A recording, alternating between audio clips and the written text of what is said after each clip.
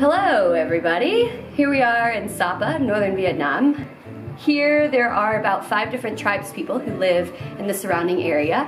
We're checking out uh, a local village, the Hmong people, and they have some wonderful fermented beverages. We've got plum over here, mushroom, apple, and ginseng. I decided to try the ginseng for its many, many useful and medicinal purposes. So cheers everybody. Woo! Woo! That gave me chills. it's it's good though. What, is Woo, it, what does it taste like?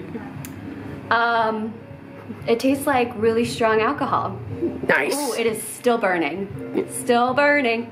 All right, I want a drink. Okay.